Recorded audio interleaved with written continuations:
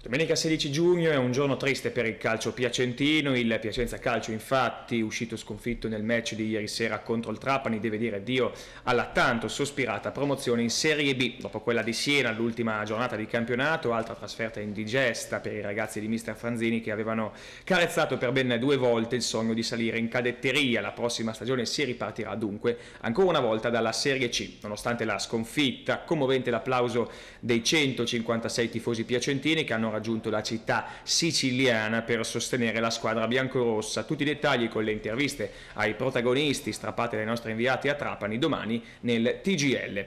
Lasciamo i biancorossi e dedichiamoci a quello che è stato il Gola Gola Festival, oltre 40.000 le presenze per la kermesse enogastronomica che tornerà comunque a Piacenza il prossimo anno. L'evento ha entusiasmato non solo i piacentini e i turisti, ma anche i produttori e le attività economiche locali. Per l'edizione 2020 sono già in programma ancora più eventi.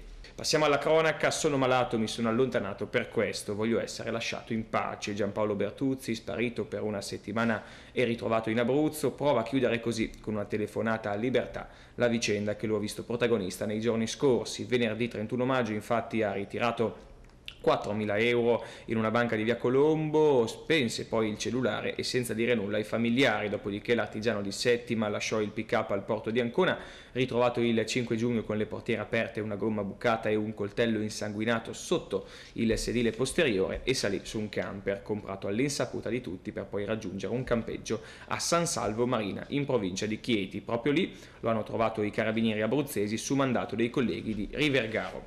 Un marocchino di 30 anni è stato arrestato dalla polizia alla Farnesiana dopo aver minacciato e ferito una barista. Gli agenti, mentre lo portavano in questura, sono stati accerchiati da parenti e amici dello straniero. Il marocchino regolare sul nostro territorio è stato identificato. Si tratta di un uomo con precedenti per lesioni e contro il patrimonio. È finito in manette per lesioni e resistenza a violenza a pubblico ufficiale. La questura ha poi proceduto con la revoca del permesso di soggiorno. Hanno patteggiato patteggiato 5 anni a testa i due cinesi arrestati il 15 luglio 2018 dopo essersi schiantati a tutta velocità in via Martiri della Resistenza per sfuggire alla polizia, dovevano rispondere di rapina, sequestro di persona, lesioni e resistenza nei confronti di un loro connazionale e di due agenti feriti nell'inseguimento. Uno si trova ancora in carcere, l'altro ai domiciliari in provincia di Milano.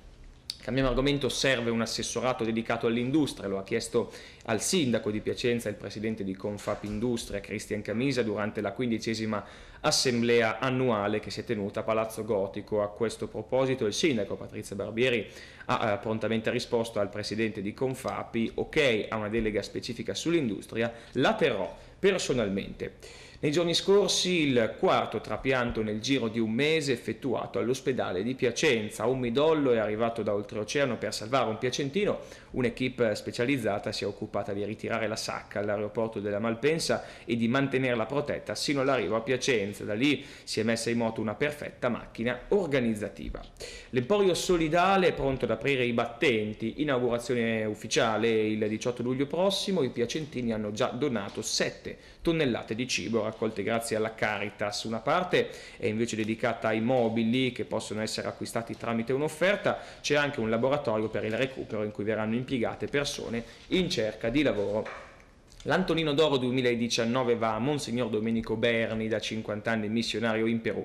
Nella nota del capitolo dei canonici si legge il conferimento vuole essere un atto di stima e di gratitudine nei confronti di un figlio della nostra chiesa piacentina bobbiese che ha dedicato quasi 50 anni della sua vita alla missione in Perù, prima come sacerdote e poi come vescovo, svolgendo sempre il suo ministero con passione, umiltà e fedeltà nei confronti del popolo a lui affidato. Il premio verrà consegnato dal vescovo Gianni Ambrosio giovedì 4 luglio nella Basilica di Sant'Antonino. Paura in città per tre incendi nell'area dell'ex mercato ortofrutticolo e nell'ex Berzolla. L'intervento dei vigili del fuoco ha evitato fortunatamente il peggio con le fiamme che sono state domate in poco tempo. La polizia indaga sull'origine delle fiamme e sequestrata a questo proposito una bottiglietta con liquido infiammabile. Si pensa alla pista dolosa. Nel 2018 sono stati 21 i morti in regione per virus trasmessi dalle zanzare, ecco perché a breve partirà la campagna di informazione con tutti i consigli utili ai cittadini, stanziati più fondi per le disinfestazioni, a disposizione dei cittadini tutto il materiale utile scaricabile dal sito www.zanzaratigreonline.it, la prevenzione è fondamentale, ha commentato l'assessore regionale alle politiche per la salute Sergio Venturi.